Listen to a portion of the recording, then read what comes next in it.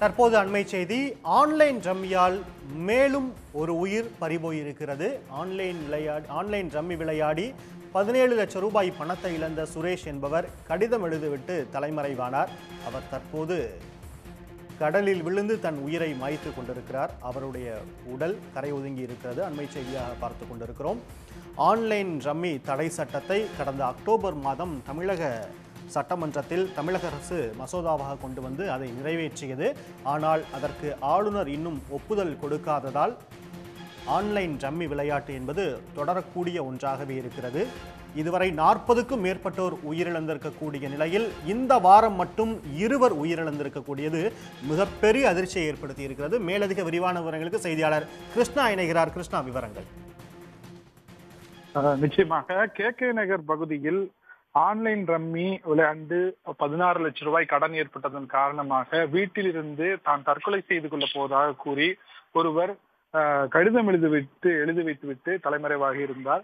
தொடர்ந்து அவர் உண்மையை தற்கொலை செய்து கொண்டுள்ளாரா அல்லது வேற எங்கேயும் சென்று விட்டாரா என கே கே நகர் போலீசார் அது தொடர்பாக விசாரணை மேற்கொண்டார்கள்.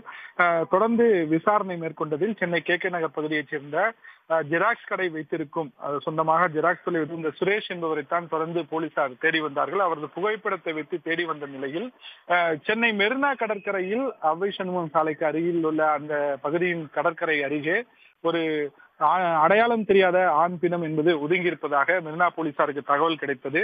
அங்கு சென்று விசாரித்த போதுதான் கே கே நகரில் காணாமல் போன இந்த சுரேஷ் என்பது தெரிய வந்திருக்கிறது. உடனடியாக அவரது உடலை தற்போது ராயப்பேட்டை அரசு மருத்துவமனைக்கு பிரேத பரிசோதனைக்காக போலீசார் அனுப்பி வைத்திருக்கிறார்கள். கே கே நகர் போலீசாரும் நேரில் வந்து இறந்தது சுரேஷ் தான் என்பது தெரிய வந்திருக்கிறது.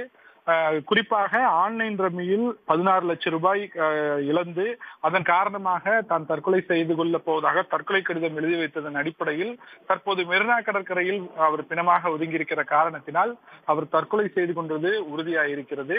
தொடர்ந்து இந்த விவகாரம் குறித்து அவரது மனைவியிடமும் அஹ், உறவினரிடமும் விசாரணை என்பது நடைபெற்று வருகிறது. ஆன்லைன் ரம்மியினால் ஏற்படும் தற்கொலையின் எண்ணிக்கை தொடர்ந்து அதிகரித்துக் கொண்டே வருகிறது. இதற்கு ஒரு முற்றுப்புள்ளி வைக்க வேண்டும் என அவர்கள் உறவினர்கள் தரப்பிலும் தொடர்ந்து தெரிவித்திருக்கிறார்கள். நன்றி கிருஷ்ணா.